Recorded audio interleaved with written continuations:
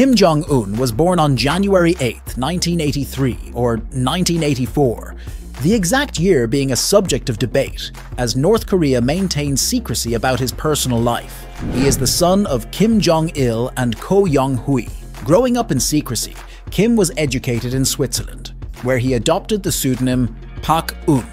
His early life remained shrouded in mystery,